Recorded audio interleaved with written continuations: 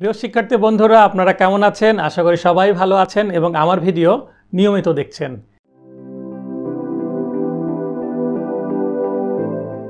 আজকের ক্লাসে আলোচনা হবে রিভিশন ক্লাস টু ওয়েভার বলতে দাবি পরিত্যাগ করা।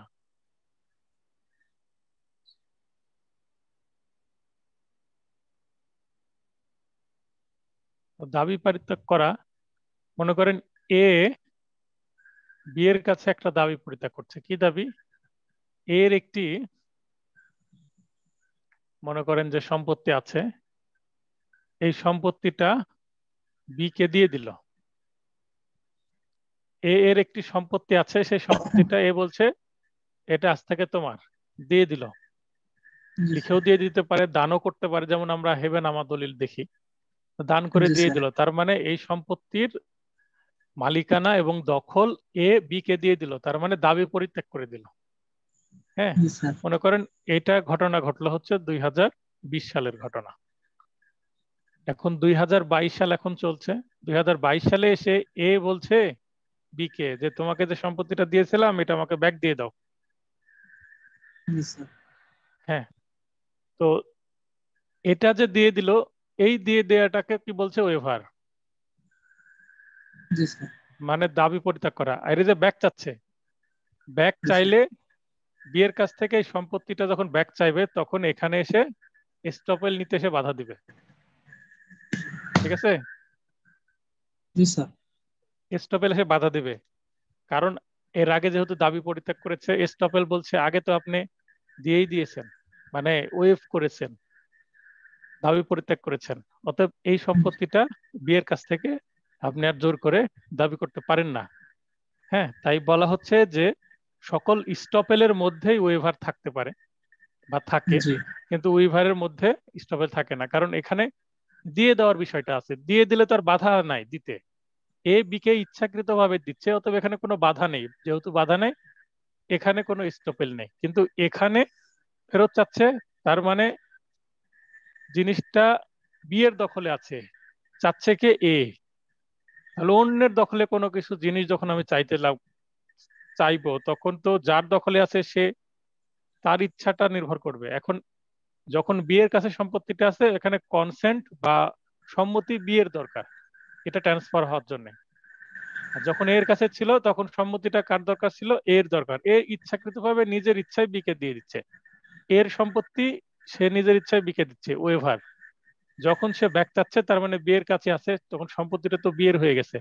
বিত ইচ্ছা নাই একে ফেরত দেওয়ার। তখন এস্টপেল নিতে এসে বাধা দিচ্ছে। তার মানে বলতে চাচ্ছি যে সকল এস্টপেলের মধ্যে ওয়েভারটা লুকিয়ে থাকে। মানে একটা উপাদান অন্যতম উপাদান হিসেবে কাজ করে। এটা বোঝানোর চেষ্টা করেছি। ওয়েভারের জন্য আলাদা তো কোনো সেকশন নাই স্যার ওয়েভার হচ্ছে চুক্তি আইনের মাধ্যমে তৈরি হয়।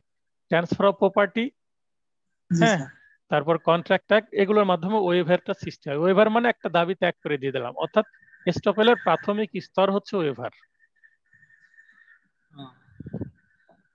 এই সকল তার মানে কি সকল মানে স্টপেলের ভিতর ওয়েভার থাকে কিন্তু ওয়েভারের ভিতর সব ওয়েভারের ভিতর স্টপেল থাকে না। এরকম নাকি সব ওয়েভার ভিতর এরকম এরকম আমি প্রথম যেটা বললেন সেটাই সঠিক। তার মানে স্টপেলটা স্টপেলটা অনেক বড় জিনিস। এটা মনে করেন স্টপেল বড় জিনিস এর মধ্যে ছোট একটা জায়গায় ওয়েভার লুকিয়ে আছে। আশা করি এবার এর মাধ্যমে আরও ক্লিয়ার হলেন। স্টপেল একটা বড় জিনিস এর মধ্যে ছোট একটা জায়গায় ওয়েভার থাকে। স্টপেল না হলে কি ওয়েভার হবে? শুধু ওয়েভার হবে স্যার? হবে। আপনি সম্পত্তি এ বি কে দিয়ে দিল দিয়ে দেওয়ার পরে আর পরে ব্যাক চাইলো না তাহলে তো আর স্টপেল আসার কোনো জায়গা নাই। স্টপেল হচ্ছে পরের ধাপ। ঘটনার প্রথম ধাপ হচ্ছে দাবি ত্যাগ করছে এটা প্রাথমিক স্তর। প্রথমে ওইভার সৃষ্টি হচ্ছে। যখন সে ব্যাক চাচ্ছে তখন বাধাটা আসছে। কারণ বিয়ের কাছে সম্পত্তিটা আছে বি তো দিচ্ছে না। ইচ্ছাকৃত ভাবে দিয়ে দিলে সেটা ভিন্ন জিনিস। সেখানে তো কোনো বাধাই থাকছে না কোনো ঝামেলা সৃষ্টি হচ্ছে না।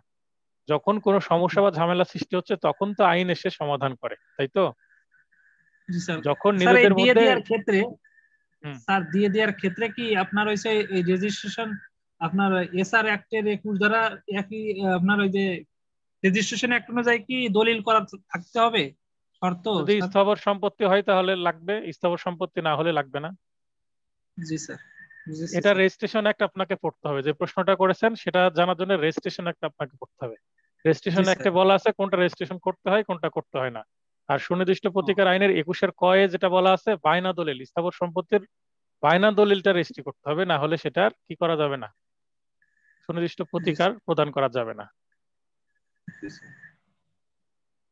স্যার মালিকানা হারালাম দখলও হারালাম। মানে মালিকানা আমি আবার দখলও হারালাম। দুইটাই হারাইছি। এখন প্রতিকার কি স্যার? আট ধারে মামলা করতে হবে সুনির্দিষ্ট প্রতিকার আইনের।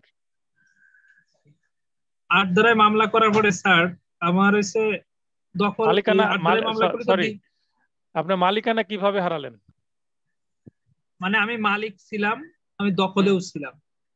কিন্তু এক সময় দেখা যায় যে আমার এসে আমাকে বলল যে মালিকানা ছিল আমি অমুক থেকে পাইছি। আমি আমার পিতার থেকে পাইছি সে বলল যে তোমার চাচার কাছে আমি কিনেছি। এই ক্ষেত্রে এসে সে আমাকে জোর করে দখল আমার নিয়ে নিল মালিকানাও নিয়ে নিল। মানে দুইটাই মালিকানা কীভাবে নিল? বোঝান মালিকানা তো এখানে নিল না। আপনার তো বাবার থেকে পেয়েছেন আপনার কাছে তো দলিল আছে। সেই দলিল কি বাতিল হয়ে গেল? মালিকানা তো আপনারই থাকল। স্যার এটা একটু ক্লিয়ার হওয়া দরকার। মালিকানা বলতে কাগজ কলমে কার আছে? এখন সে বলছে চাচার থেকে কিনেছি। কিন্তু আপনি বলছেন আপনার পৈতৃক সম্পত্তি আপনার পৈতৃক সম্পত্তি আপনার যদি দলিল সঠিক থাকে তাহলে মালিকানা তো আপনারই থাকল মালিকানা তো আর পরিবর্তন হলো না। আপনি যখন কাউকে লিখে দিচ্ছেন কাউকে দান করছেন আপনি যখন মর্টগেজ রাখছেন হ্যাঁ? আবারও বলছি আপনি কারও কাছে সম্পত্তি বিক্রয় করছেন আপনি কাউকে সম্পত্তি দান করছেন কাউকে গিফট করছেন হেবা করছেন এই ক্ষেত্রে আপনার মালিকানাটা পরিবর্তন হয়ে অন্যর কাছে চলে যাচ্ছে হ্যাঁ? কিন্তু শুধুমাত্র দখল নিয়ে নিচ্ছে আপনার পৈতৃক সম্পত্তির যে দলিল সেটা তো আপনার কাছে আছে তাহলে মালিকানা তো আপনার থাকলোই মালিকানা তো আর হারালো না। সে যেটা সৃষ্টি করছে সেটাকে যদি মেনে নেন যে হ্যাঁ আমার চাচার কাছ থেকে কিনেছে এখন সেটা যদি আপনার চাচার সম্পত্তি হয় তাহলে আপনার মালিকানাটা সঠিক ছিলই না। বুঝেছেন বিষয়টা? আর যদি আপনার মালিকানাটা সঠিক হয় তাহলে চাচার দলিল চাচার কাছ থেকে কেনা সম্পত্তি ওই দলিলটা ভুয়া। দুইটা তো আর সঠিক হওয়ার কথা না যে কোনো একটা সঠিক হবে। যদি আপনারটা সঠিক না হয় আপনারটা যদি সঠিক না হয় আপনার মালিকানা ছিলই না কখনো। আর তার তার দলিল যদি সঠিক না হয় তাহলে আপনার মালিকানা তো আপনার কাছে আছে। মালিকানা বিষয় বিষয়টি ক্লিয়ার হয়েছেন আপনি? জি বুঝেছি। মালিকানা বুঝেছি স্যার। তো এখন মালিকানা আপনার আছে বা নাই সেটা বাস্তবে কি বোঝা যাবে? তবে আট ধারায় মামলা করলে আট বিয়াল্লিশ ধারায় মামলা করলে মালিকানা যাচাই করা হবে। যার দলিল সঠিক তার সম্পত্তি। তাকে আবার দখল বুঝিয়ে দিবে আনুষঙ্গিক প্রতিকার হিসেবে। আর যদি মালিকানা দলিল সঠিক থাকে তাহলে শুধু নয় ধারায় মামলা করলেও হবে। অথবা ছোটখাটো মামলা একশো পঁয়তাল্লিশ ধারা সিআরপিসি তে করলেও হবে। স্যার এই মালিকানার মামলা করলে কি এটা দীর্ঘদিন চলে স্যার? এটা এই ক্লাসে আলোচনার বিষয় না। ক্লাসটা দীর্ঘায়িত করবেন না। আপনাদের মানে এই সময়টা গুরুত্বপূর্ণ সময়। আপনি চলবে কিনা সেটা একটা অ্যাডভোকেটের কাছে পরামর্শ নেবেন। এবং মামলাটা কেমন তার উপর নির্ভর করে কেমন চলে এবং কোন অ্যাডভোকেট চালাচ্ছে কোন কোর্টে চলছে তার উপর ডিপেন্ড করে। আমার কাছে সিভিল মামলা আমি খুব অল্প সময় শেষ করি। জি স্যার আচ্ছা ক্লাস বিষয়ে প্রশ্ন থাকলে বলেন। স্যার নিলামের প্রশ্নটা স্যার আমি বুঝিনি। যেমন কি প্রশ্ন আছে কি প্রশ্ন আছে বলেন। মানে এই বিষয়টা আমি মানে ক্লিয়ার হচ্ছে না স্যার নিলামের বিষয়ে প্রশ্ন বলেন আর উত্তরটা বলেন আপনি। আপনি পড়ে শোনান সবাই শোনাক।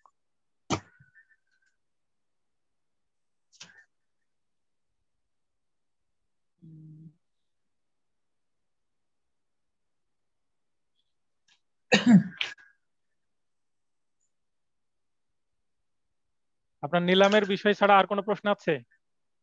না এটা বলি ক্লিয়ার হবে স্যার। আচ্ছা ওটা বের করে রাখেন আপনাকে আবার পরে সুযোগ দেবো। বের করা হয়েছে কি? স্যার। পরে আপনি প্রশ্ন করেন। বের করা হলে এখনই করেন।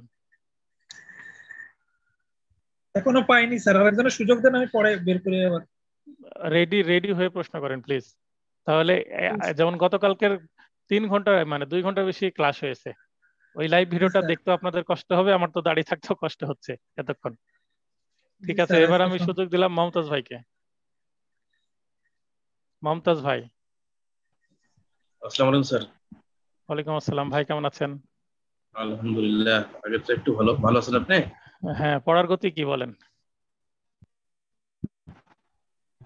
হ্যাঁ আলহামদুলিল্লাহ মোটামুটি। আজকে লিখছি লিখে পাঠাইছিলাম দুইটা প্রশ্ন। হ্যাঁ অনেকে পাঠাচ্ছে জানি না।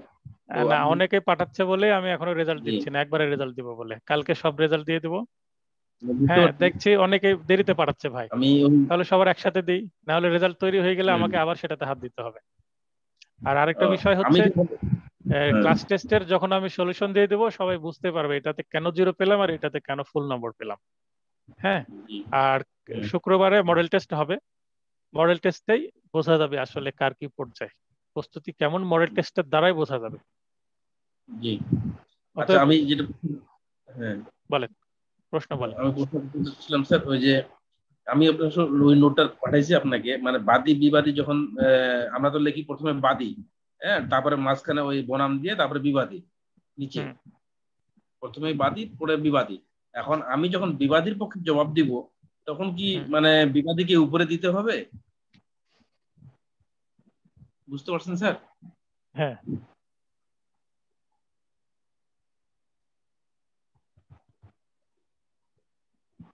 দরখাস্তকারী? জি। বিবাদী এভাবে লিখতে হবে। যদি পাশাপাশি দেন। আচ্ছা। দরখাস্তকারী ব্র্যাকেটে বিবাদী পাশাপাশি দিলে। হ্যাঁ। আর যখন আপনি উপরে নিচে হ্যাঁ, যদি দেন তাহলে সেটা যদি দরখাস্ত হয় তাহলে দরখাস্তকারী উপরেই থাকবে। যিনি দরখাস্ত করেন উনি বাম পাশে থাকবেন ডানে বামে হলে বাম পাশে থাকবেন অথবা উপরেই থাকবেন মানে দরখাস্তকারীকে উপরে রাখতে হবে। ওই জিনিসটা জানার জন্য সাধারণ নিয়ম। ও মানে যিনি যার পক্ষে আমি মানে কথা বলব তাকে উপরে রাখতে হবে শুনে হ্যাঁ যিনি সাবমিট করছেন জি। তাকে উপরে রাখতে হবে বা বামে রাখতে হবে প্রথমে রাখতে হবে এক কথায়। আচ্ছা তাহলে আদালতের বুঝতে সুবিধা হয়। আদালতের বুঝতে সুবিধা হয় যে দরখাস্তটা কে সাবমিট করলেন কার পক্ষে। এবং প্রথম আচ্ছা। লাইনে বলে দিতে হবে যে বিবাদী পক্ষে দরখাস্ত দাখিল পক্ষে বিবাদী পক্ষ বা দরখাস্ত দাখিল পক্ষে বাদী পক্ষ। এইভাবে উল্লেখ করে দিলে আদালতের বুঝতে সুবিধা হবে কোন পক্ষ দরখাস্তটি দাখিল করল এবং শুনানি করছে। আচ্ছা ক্লিয়ার হয়েছেন।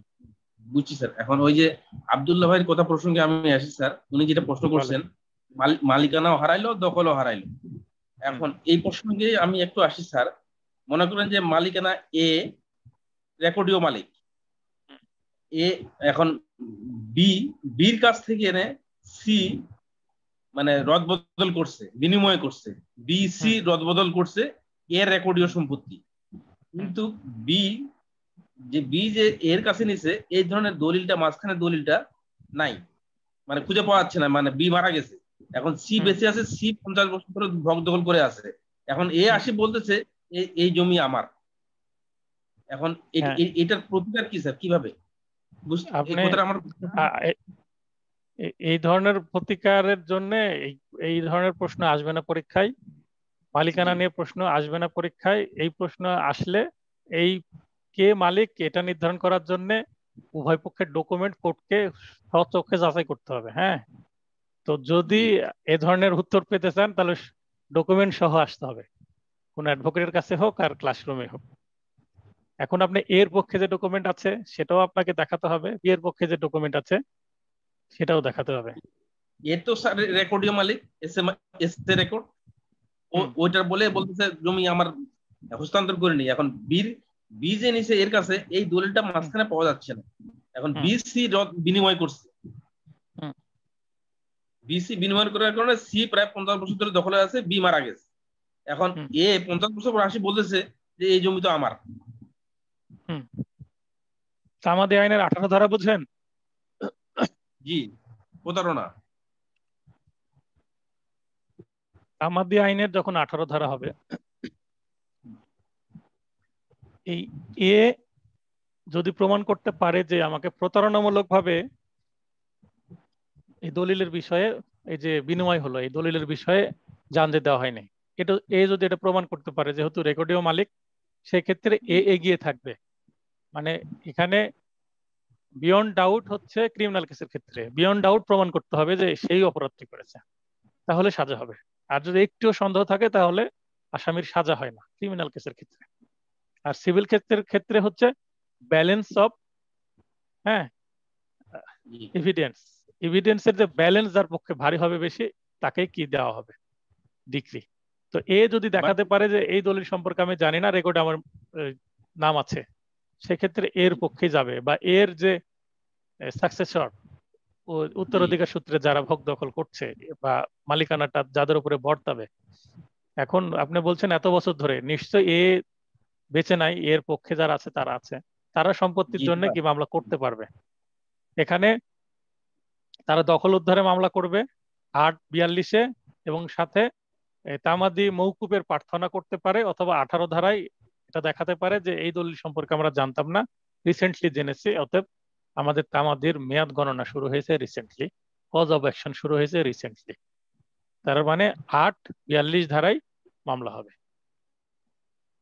স্যার এটা এ করতে পারো কিন্তু পঞ্চাশ বছর ধরে যে সি দখল করে খাচ্ছে এ তো স্যার মানে তাহলে আঠাশ ধারায় তাহলে দামাদিয়ানের আঠাশ দ্বারা তাহলে কি ও পজিশন ইয়াতে পারবে না স্যার? ও তো বিলুপ্ত হওয়ার কথা।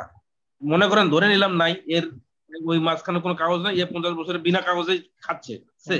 একটা বিনিময় ধরলে যার কাছে গুয়া কিন্তু স্যার আঠাশ ধারা হিসেবে তাহলে স্যার আমার থাকে থাকার কথা। বা পজিশন যেহেতু আমি আছি তাদের অধিকার তো বিলুপ্ত হওয়ার কথা স্যার। তাহলে আঠাশ ধারা আঠাশ ধারা বলতে আপনি অ্যাডভান্স পজিশনের কথা বলছেন? জি স্যার।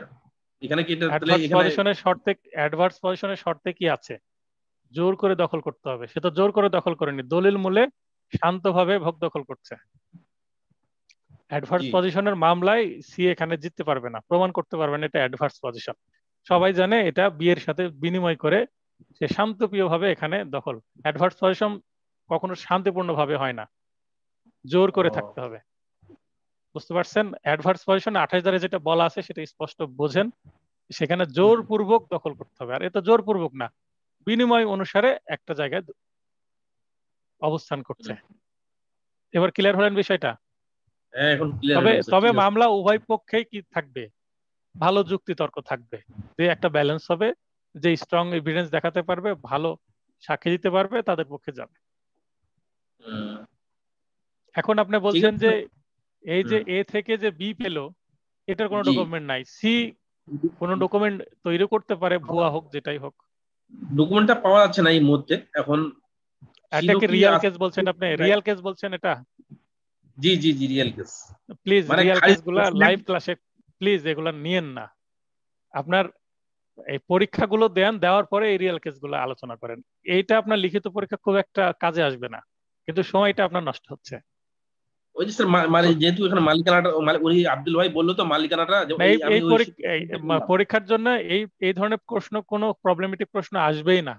মালিকানা হাতছাড়া হয়েছে এই ধরনের প্রশ্ন আসবেই না আমি গ্যারান্টি দিচ্ছি।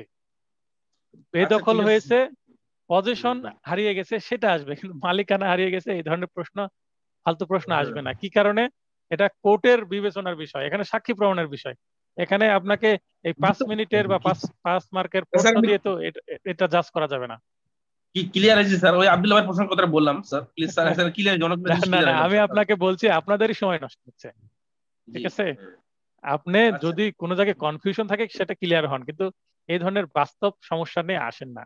কারণ কোন সিনিয়র অ্যাডভোকেটের কাছেও যদি যান যিনি অনেক ভালো বুঝেন সিভিল তার কাছেও যেতে হলে জাস্ট আপনাকে ডকুমেন্টারি যেতে হবে। হাতে ডকুমেন্ট নিয়ে যাবেন না হলে কোনো কথাই বলবে না। যেমন আপনি যেটা বলছেন অনেকে ফোনে আমি শুনেছি যে সমস্যার কথা বলে স্যার এটা কি হবে? আমি বলছি আমি বলে দিয়েছি কিন্তু পরে ডকুমেন্ট নিয়ে এসে আপনি এক কথা বলছেন ডকুমেন্ট আরেক কথা বলে। মানে উনি উনি যদি ভালো বুঝতেন তাহলে তো অ্যাডভোকেটের কাছে আসা লাগতো না। তার মানে উনি ডকুমেন্ট এক আছে কিন্তু বলছেন আরেক।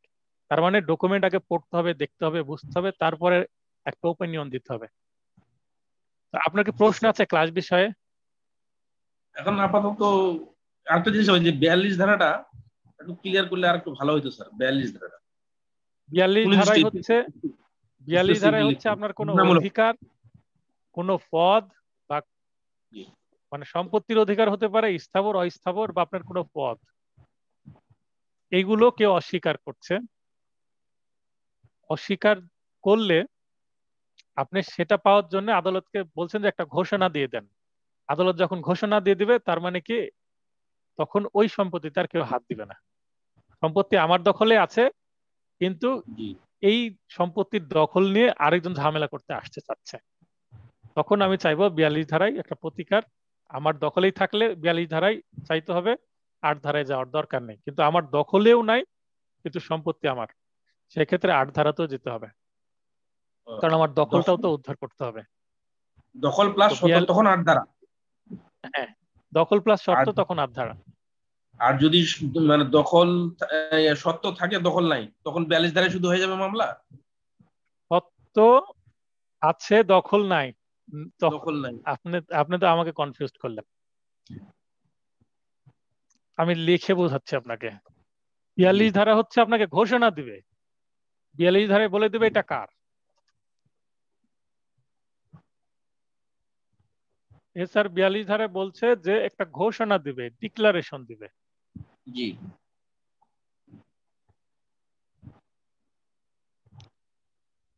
ডিক্লারেশন দিবে একটা যে এটা কার আদালত। এখন বলে দিল এ আর বি এর মধ্যে একটা ঝামেলা হচ্ছে এ মামলা করল। এ মামলা করে বলছে যে এই যে আমার একটা সম্পত্তি এই সম্পত্তিটা আমার এই মর্মে একটা ঘোষণা দেন আদালত। কারণ এই সম্পত্তি যে তার তার একটা ডকুমেন্ট আছে। এই ডকুমেন্টকে এ বি বা অন্য কেউ অস্বীকার করছে। আরও একটা ব্যক্তি আসছে আরও একটা ব্যক্তি আসছে। এরা সবাই অস্বীকার করছে। এই সম্পত্তির উপরে তারা ভাগ নেওয়ার চেষ্টা করছে বা পুরো সম্পত্তিটা দখলের চেষ্টা করছে। এবং এর মালিকানাকে অস্বীকার করছে যে আপনার যে টাইটেল আছে, মালিকানা বলতে টাইটেল টাইটেল যা আছে এটাকে অস্বীকার করছে। যখন অস্বীকার করবে, তখন এই টাইটেলের সাথে আর একটা স্ট্রং করার জন্য এই কোর্ট থেকে একটা ডিক্লারেশন করে ডিক্লারেটরি একটা ডিগ্রি নিবে। তাহলে তার টাইটেল দলিল আছে। টাইটেল ডিড এর সাথে যুক্ত হলো আদালতের ডিক্লারেটরি ডিক্রি ডিক্লারেটরি ডিক্রি এই দুইটা জিনিস যখন যুক্ত হয়ে যাবে, তখন এই জিনিসটা স্ট্রং হয়ে যাবে। এর সাথে আরেকটা কি যুক্ত হবে? পারপেচুয়াল ইনজাংশন পারমানেন্ট ইনজাংশন কারণ যখনই ডিক্লারেটরি শুট চাইবে, এখানে একটা প্রথম দিকে অস্থায়ী নিষেধাজ্ঞা চাইবে, তারপরে যখন ডিগ্রি চলে আসবে, তখন এই ডিগ্রির মধ্যেই একটা পারমানেন্ট ইনজাংশন বা পারপেচুয়াল ইনজাংশন দিয়ে দিবে, যেটা এর সম্পত্তি, এই সম্পত্তিতে আর কেউ হাত দিতে পারবে না। কোর্ট এটা নিজে ভেরিফাই করে ঘোষণা দিয়ে দিল। এই হচ্ছে বিয়াল্লিশ ধারা। বিয়াল্লিশ ধারা, এটা আমি কি বললাম? সম্পত্তির অধিকার বিষয়। এখন পদ বিষয় কি? মনে করেন যে একটা ব্যক্তি একটা পদে অবস্থান করছেন। এখন অন্যরা মেনে নিচ্ছে না। মনে করেন ইউনিয়ন পরিষদের একজন চেয়ারম্যান পাশ করেছে, কিন্তু ওই এলাকার লোকজন তাকে মেনে নিচ্ছে না পাশ করার পরেও। এখন সে আদালতে আসছে যে আমি যে এলাকার চেয়ারম্যান, এটা মেনে নিচ্ছে না অন্য লোকজন, কিন্তু আমার তো ডকুমেন্ট আছে। এখন উনি আদালতে এসে সেটা মামলা করে আবার একটা ডিগ্রি প্লাস তার যে ডকুমেন্ট, সেটা একত্রে করে স্ট্রং করতে পারে। ডিক্লারেটরি শুট বাড়তি কিছু না জাস্ট একটা ঘোষণা। একটা বিজ্ঞাপনী ঘোষণা। আশা করি স্যার ওই কিছু কিছু বই বুঝতে পারছি স্যার কিন্তু কিছু কিছু বইয়ে দেওয়া আছে যে বিয়াল্লিশ ধারার সাথে আট ধারা অবশ্যই যোগ করতে হবে যোগ করে মামলা করতে হবে। এখন আমি বলি কখন আট ধারা যুক্ত করতে হবে। এটা ক্লিয়ার হন না হলে ফাঁদে পড়বেন। জি। আট ধারাতে আট ধারাতে কি করে আদালত? সত্য। সেকশন আট ধারাতে কি বলে? Title plus position. টাইটেল যার আছে? দখল। টাইটেল যার আছে তাকেই পজিশন দিবে। হ্যাঁ তাহলে টাইটেলটা দেখবে এবং পজিশনটা দিয়ে দিবে। কারণ আট ধারাতেও যখন মনে করেন এ মামলা করতে যাচ্ছে একটা ঘোষণামূলক মামলা করতে যাচ্ছে এখন এই সম্পত্তি মনে করেন যে পাঁচ কাঠা সম্পত্তি। এই পাঁচ কাঠা জমি এ এর দখলেই আছে। পাঁচ কাঠা জমি এ এর দখলেই আছে। এখন সে বিয়াল্লিশ ধারায় শুধুমাত্র ঘোষণা চাচ্ছে। তাহলে সেকশন বিয়াল্লিশই অ্যানাফ আর কিছু লাগবে না। এখন মনে করেন বি নামে আরেকটা ব্যক্তি, এই পাঁচ কাঠা সম্পত্তিটা এ এর দখল থেকে চলে গেছে কার দখলে? বি এর দখলে মানে এ হয়ে গেছে কি? বেদখল এ হয়ে গেছে বেদখল তাহলে এখানে বিয়াল্লিশ ধারাই তো এর যে টাইটেল আছে, এই সম্পত্তিটা এর এর যে টাইটেল আছে, মালিকানা আছে। এই মালিকানা থাকল ঠিক আছে কিন্তু সম্পত্তি তো বিয়ের কাছে চলে গেছে এখানে চলে আসছে সম্পত্তি বিয়ের দখলে। যেহেতু বিয়ের দখলে চলে আসছে তাকে তো দখলও উদ্ধার চাইতে হবে। তখন আটের সাথে বিয়াল্লিশটাও আট বিয়াল্লিশের সাথে আট ধারাও যুক্ত হবে। আট ধারায় ঘোষণা দিবে বিয়াল্লিশ ধারায় এর কাছ থেকে যে বিয়ের কাছে গিয়েছিল এই বিয়ের সম্পত্তিটা আবার কি করবে? আদালত নিবে আদালত নিয়ে আবার এ কে অর্পণ করবে। বুঝতে পেরেছেন এবার বিষয়টা? জি স্যার যে যিনি মামলা করবেন যিনি মামলা করবেন সম্পত্তি যদি তার দখলেই থাকে তাহলে দরকার নেই। দরকার আর যদি তার দখল হারিয়ে গেছে দখলও হারিয়ে গেছে হ্যাঁ তখন ওই দখলও তো উদ্ধার দরকার। তখন আট ধারারও কাজ আছে মানে আনুষঙ্গিক প্রতিকার লাগবে। জি। এবার ক্লিয়ার হলেন বিষয়টা? জি স্যার প্লিজ থ্যাংক ইউ আচ্ছা আচ্ছা আর প্রশ্ন আছে আপনার? না স্যার অন্যকে সুযোগ দেন পরবর্তীতে দেখতেছি। হ্যাঁ, আমি বলব যে বিভিন্ন গাইডে বিভিন্ন রকম থাকতে পারে হ্যাঁ? সব গাইডে যে ভুল আছে বা সব গাইডে সঠিক আছে তা নয় কিন্তু মূল আইনে তো সঠিক আছে। হ্যাঁ মূল আইনটার সাথে একটু ভেরিফাই করবেন। ঠিক আছে তাহলে অন্যকে সুযোগ দিচ্ছি আপনাকে মিউট করে দিচ্ছি। আচ্ছা ঠিক আছে ওয়ালাইকুম আসসালাম। রেবেকা সুলতানা। স্যার আসসালামু আলাইকুম। ওয়ালাইকুম আসসালাম। কি প্রশ্ন আছে বলেন। স্যার আমি তো দেওয়ানি নিয়ে প্রশ্ন করব। হ্যাঁ অবশ্যই। হ্যাঁ দেওয়ানির যে মানে মোকদ্দমার যে ধাপগুলো। দেওয়ানি ওগুলো যদি একটু বলতেন। প্রথমে প্লেন্ট প্লেন্ট মানে আরজি। আরজিটা কি করা হলো? দাখিল করা হলো। দেওয়ানি মামলা ম্যাজিস্ট্রেটের কাছে বা পুলিশের কাছে দায়ের করতে হয়। আর সিভিল মামলা, প্লেন বা আরজি আদালতের যে সহকারী থাকেন বা অফিসার থাকেন, তাকে দেওয়া হয়। সরাসরি কোর্টে দাঁড়িয়ে ফাইলিং করার দরকার নাই। রেডি করে জাস্ট সেরেস্তায় দিয়ে দিলেই সেটা ফাইলিং হয়ে যায়। তো যখন আপনি প্লেনটা সাবমিট করলেন, জমা দিলেন, তখন সেটা ফাইলিং হলো, একটা রেজিস্টারে ফাইলিং নাম্বার পড়ল মামলা নাম্বার পড়ল। প্লেন দাখিল করার পরে আপনার যদি সবকিছু সঠিক থাকে, আপনার মামলার যে তাইদাদ মূল্যবান, এই অনুসারে যদি কোর্ট ফি দিয়ে থাকেন মানে সবকিছু ওকে আছে। তার মানে মামলাটা গ্রহণ করা হলো, মামলা একটা নাম্বার পড়ল এবং এর বিপরীতে যে ডিফেন্ডেন্ট আছে, বিবাদী, তাদেরকে লিখিত জবাব দেওয়ার উদ্দেশ্যে হ্যাঁ তাদের প্রতি এস আর প্লাস এডি এটার জন্য আপনাকে একটা কি পড়বে স্টেপ পড়বে। এস আর বলতে সামন রিটার্ন আর এডি বলতে অ্যাকনলেজমেন্ট ডিউ মানে সমন পাঠাবে এবং সেটা রিটার্নও আসতে হবে। সমন রিটার্নের জন্য স্টেপ আর অ্যাকনলেজমেন্ট ডিউ বলতে সমনে একটা প্রাপ্তি স্বীকারপত্র থাকবে, সেটা যে সে রিসিভ করেছে কিনা, সেটাকে বলা হয় অ্যাকনলেজমেন্ট ডিউ এতটুকু বুঝলেন তো? এখন সমন পেয়েছে বিবাদী অ্যাকনলেজমেন্ট ডিও চলে আসছে ফেরত। এরপরে চলে আসবে ডাব্লিউএস রিটেন স্টেটমেন্ট বা জবাবের জন্য দিন ধার্য হবে। জবাব। এটাকে বলছি জবাব। কে জবাব দিলে দিবে? বিবাদী। এক বা একাধিক বিবাদী হতে পারে।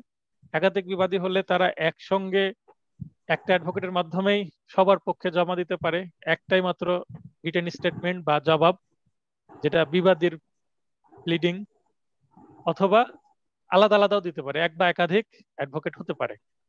আলাদা আলাদাও আসতে পারে, একত্র আসতে পারে। রিটেন স্টেটমেন্ট যদি দেয়, তো গ্রহণ হলো। আর যদি না দেয়, দুই তিনটা ডেট যদি চায়, যে সমন এসেছে, বিবাদী জানে মামলা সম্পর্কে অবগতি হলো, এখন ইন্টারেস্ট দেখাচ্ছে না, আসছে না, বা সময় মতো বারবার ডেট পড়ার পর, পরও তিন চারটা ডেট পড়ার পরও রিটেন স্টেটমেন্ট লিখিত জবাব দিল না, তখন এই মামলাটা চলে যাবে এক্সপার্টে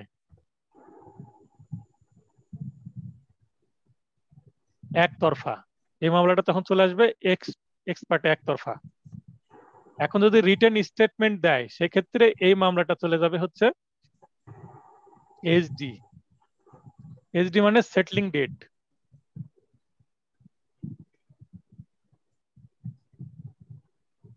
এই সেটলিং ডেট বলতে ইস্যু গঠনের ডেট মানে কবে ইস্যু গঠন করা হবে এইচডি দেওয়া হবে।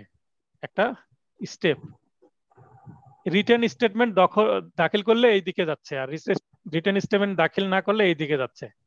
তো আমি এই দিকেটাকে শেষ করি। এক্সপার্টে যখন হবে এক্সপার্টেতে কি হবে? একতরফা সাক্ষী হবে। এক্সপার্টে হিয়ারিং মানে বাদী সাক্ষী দিবে। জেরা করার কেউ নাই, অপর পক্ষে যেহেতু জবাব দেয়নি অপরপক্ষ জবাব না দিলে জেরা করতেও পারবে না। তাহলে এক্সপার্টি হিয়ারিং হলো। এক্সপার্টি হিয়ারিং হওয়ার পরে জাজমেন্ট জাজমেন্ট হওয়ার পরে জাজমেন্টের উপর ভিত্তি করে সেরেস্তাদার কি তৈরি করবে? ডিগ্রি তৈরি করবে। মামলা শেষ। এক্সপার্টে হলে এভাবে শেষ। আর যদি এইচডি হয় সেটলিং ডেট সেটলিং ডেটের পরে ইস্যু গঠন। ফ্রেমিং ইস্যু ইস্যু গঠন হয়ে যাওয়ার পরে পিএইচ মানে শুনানি। এই শুনানিতে বাদী পক্ষ এবং বিবাদী পক্ষকে সাক্ষীর জন্য রেডি করতে বলা হয়। তারপরে এফপিএইচ ফাইনাল পিএমটরি হিয়ারিং এটা পিএমটরি হিয়ারিং আর final peremptory hearing final peremptory hearing হয়ে গেল, তারপরে হবে জাজমেন্ট জাজমেন্ট হয়ে গেল, তারপরে হবে ডিগ্রি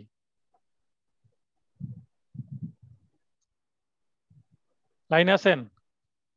হ্যাঁ আছে। দেখে নেন আশা করি বুঝতে পেরেছেন।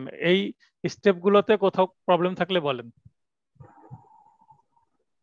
আরজি দাখিল সমনের জন্য চলে গেল সমন রিটার্ন আসলো প্রাপ্তি স্বীকারপত্র দিয়ে দিল তার মানে পদাতিক সমন গেল মানে কোর্টের কোনো জারিকারক যে সমন দিয়ে আসলো হাতে হাতে এবং তার থেকে সই নিল স্বীকার করে নিল হ্যাঁ আমি পেয়েছি।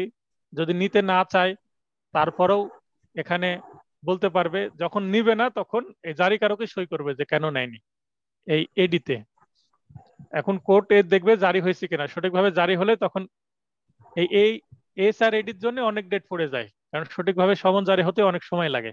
যদি একাধিক বিবাদী থাকে, অনেক বিবাদী থাকে অনেক সময়, তারপর S W S written statement বা জবাবের জন্য পড়ে।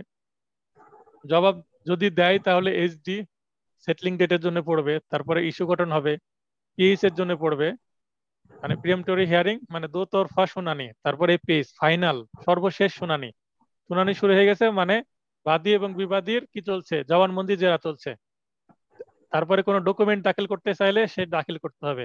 ডকুমেন্ট কি কি দাখিল করল, সেগুলো আবার প্রদর্শনী করতে হবে। প্রদর্শনী কি কি কি ডকুমেন্ট দিচ্ছি, সেগুলো রেকর্ডে সহকারী জজ বা যিনি মামলাটা হিয়ারিং করছেন, তিনি রেকর্ডে লিখবেন।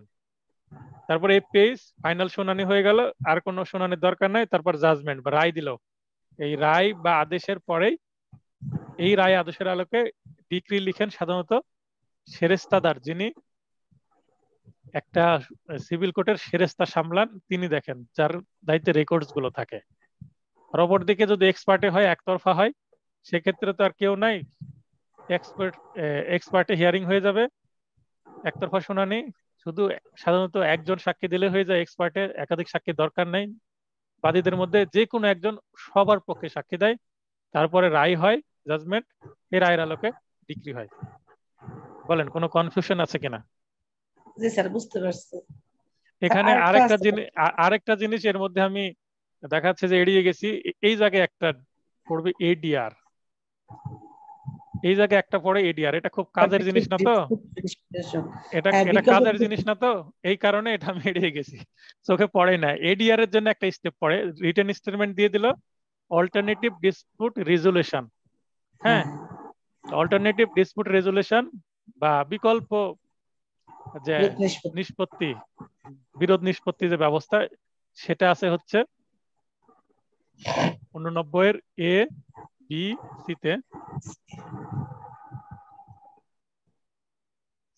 সিপিসিতে তো এখানে এডিআর এ উভয় পক্ষকে সময় দেয়, যে এখনও সময় আছে। আপনারা নিজেদের মধ্যে সমাধান করতে পারলে করে নেন। এরকম আর কি। কিন্তু খুব একটা ফলপ্রসূ হয় না, খুব কম হয়। তবে দেখবেন কিছু ল ক্লিনিক আছে, ব্লাস্ট, যার মধ্যে একটা। ইনা, তারপর আছে হচ্ছে আইন ও শাসন, কি যেন একটা সংস্থা আছে। মানবাধিকার সংস্থা এরা অবশ্যই এগিয়ে আসে তারপর আছে হচ্ছে লিগ্যাল এড আছে সরকারি সংস্থা। ইনারা একটু যদি তদারকি করেন তাহলে একটু এডিআরগুলো হয়। কিন্তু অধিকাংশ ক্ষেত্রে এডিআর এর পার্সেন্টেজ খুবই কম মামলার ক্ষেত্রে। তো আর প্রশ্ন আছে আপনার? স্যার আর আছে কমিশন সম্পর্কে যদি বলতেন। কমিশনের কি বুঝেননি বলেন? কমিশন কেন দেয়? এগুলো।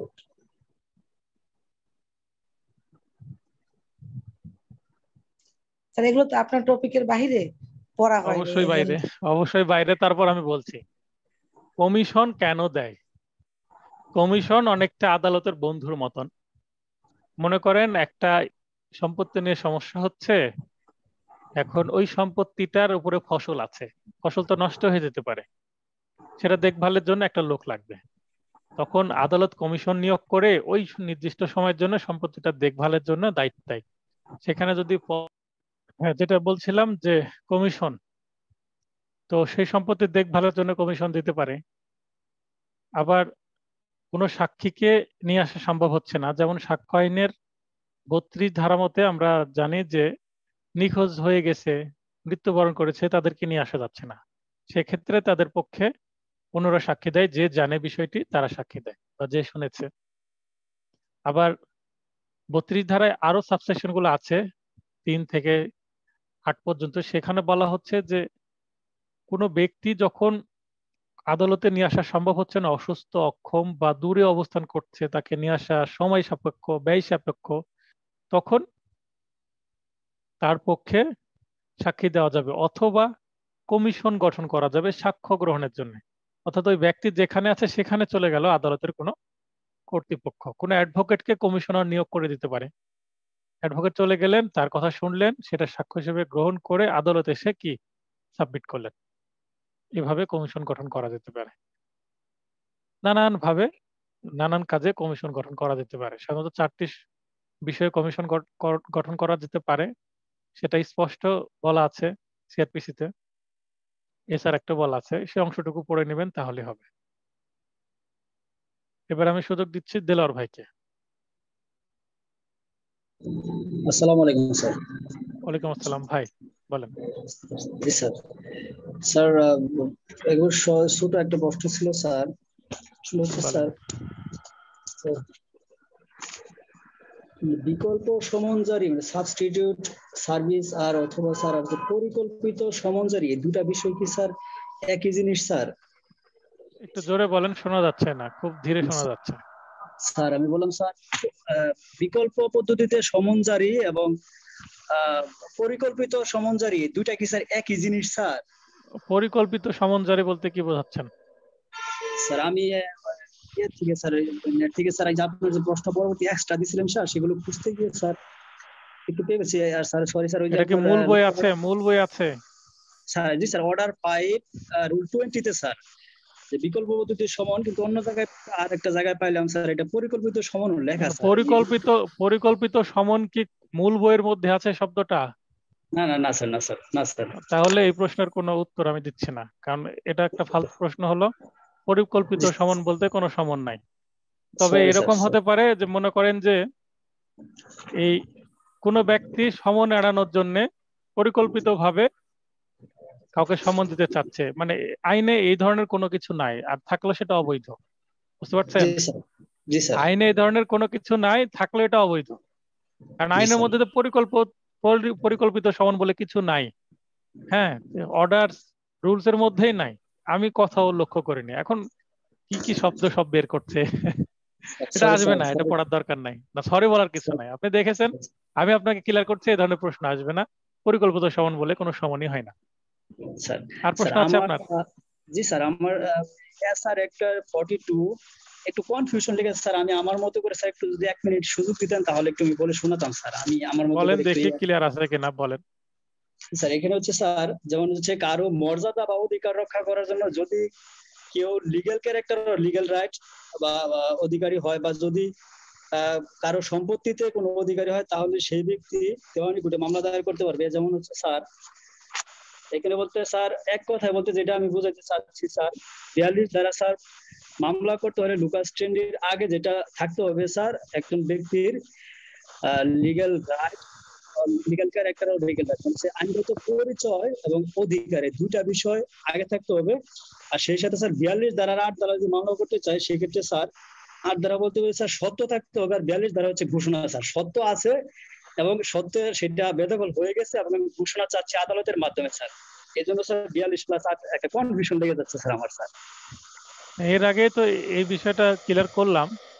বিয়াল্লিশ ধারা আপনার দখলে আছে কিন্তু বেদখল হওয়ার সম্ভাবনা তৈরি হয়েছে। অনেকটা সিআরপিসি একশো পঁয়তাল্লিশ ধারার মতো একশো পঁয়তাল্লিশ ধারা আমার দখলে আছে কিন্তু আমার নিরবচ্ছিন্ন দখল মানে আমার দখলে আরেকজন এসে ঝামেলা করছে ভাই হ্যাঁ? এই আচ্ছা। সময় আমি বিয়াল্লিশ ধারায় আমার দখলটাকে স্ট্রং করার জন্য মানে আমার টাইটেলটাকে স্ট্রং করার জন্য আমি কি করব? বিয়াল্লিশ ধারায় মামলা করব। আট ধারার দরকার নাই কারণ দখল তো আমারই আছে। আমি তো বেদখল হইনি। বেদখল না হলে আট ধারার দরকার নাই নয় ধারারও দরকার নাই। তাহলে শুধু বিয়াল্লিশ ধারায় আমি বলব যে এটা আমার এই মর্মে একটু ঘোষণা দিয়ে দেন। আনুষঙ্গিক প্রতিকারও দরকার নাই এখানে। কিন্তু যদি বেদখল হয়ে যায় তাহলে ঘোষণা তো লাগবে আর যে আমার সম্পত্তি আরেকজনের কাছে চলে গেল ওটা আমাকে ফেরত পেতে হবে না? জি স্যার স্যার। ওই দখল ফেরতের জন্য তো আমাকে আবার আট ধারে আসতে হবে। মানে বিয়াল্লিশ আট ধারা কানেক্টেড হতে পারে যখন বেদখল হবে তখন। বেদখল না হলে না। বেদখলের চেষ্টায় যদি থাকে এখনও বেদখল হয়নি সেক্ষেত্রে শুধুমাত্র সত্য ঘোষণা সত্যের মামলা করবে। আর যদি বেদখল হয়ে যায় তাহলে আট ধারার সাথে দ্বারা একটা ঘোষণামূলক মামলা যাবে সে সাথে স্যার ওই আনুষঙ্গিক প্রতিকার যেটা স্যার এটার জন্য স্যার বিয়াল্লিশ দ্বারা মামলা করবে স্যার। আনুষঙ্গিক প্রতিকার বলতে আট ধারার প্রতিকার বলা হয়।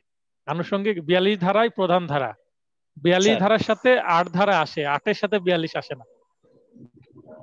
জি স্যার। বুঝতে পারছেন?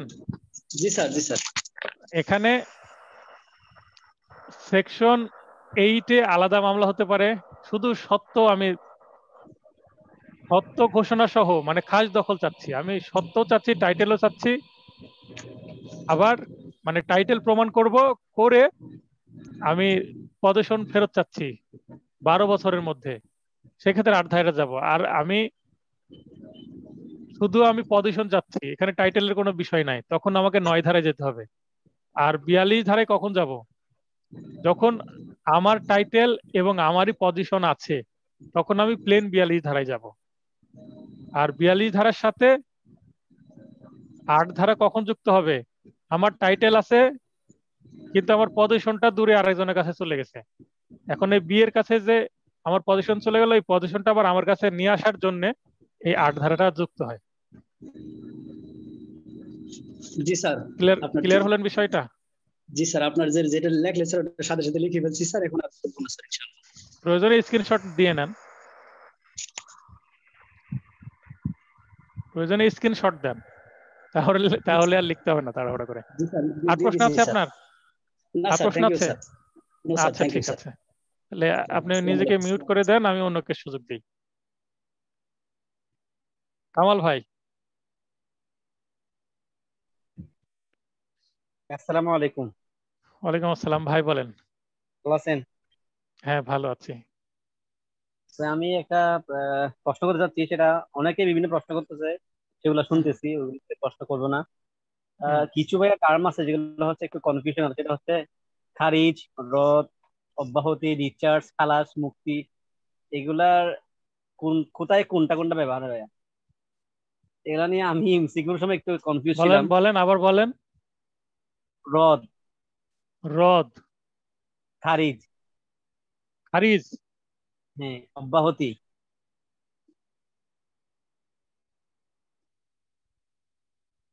অব্যাহতি। হ্যাঁ খালাস মুক্তি। খালাস মুক্তি। আর আছে? কোনো কোনো জায়গায় রিচার্জ আছে? হ্যাঁ। কোনো কি কোনো জায়গায় কি বলেন? ডিসচার্জ আর আছে? জি, এটা হচ্ছে হচ্ছে অনেক সময় যেটা ইউজ করে বেকসুর খালাস আর কি। অথবা একদম মনে হয় মামলা এটা। খালাস আর বেকসুর খালাসের মধ্যে পার্থক্য আছে? আছে খালাস এক জিনিস বেকসুর খালাস আরেক জিনিস। এই সেটা নিয়ে লাগবে?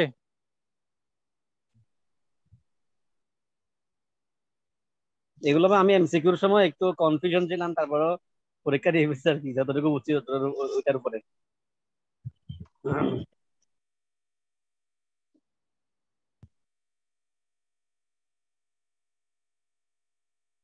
এই শব্দগুলোকে আপনি একটু ক্লিয়ার করে দেবো তাই তো?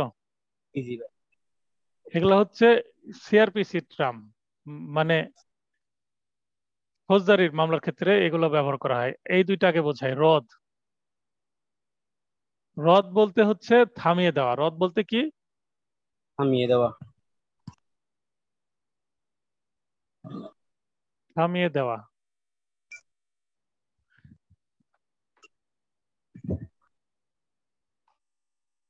তাহলে থামিয়ে দেওয়া বলতে সেটা কার্যকারিতা কি করে দেওয়া? বাতিল করে দেওয়া।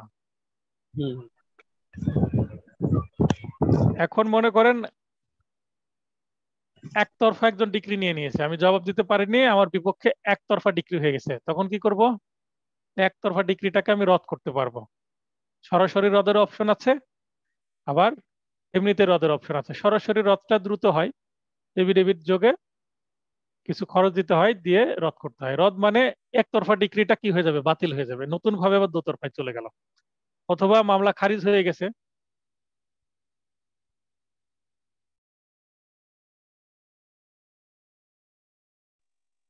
মামলা খারিজ হয়ে গেছে। খারিজ মানে কি?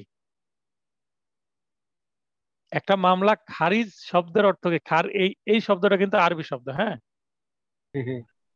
খারিজ শব্দের অর্থ শেষ। খারিজ শব্দের অর্থ শেষ। শেষ বা অকার্যকর করা।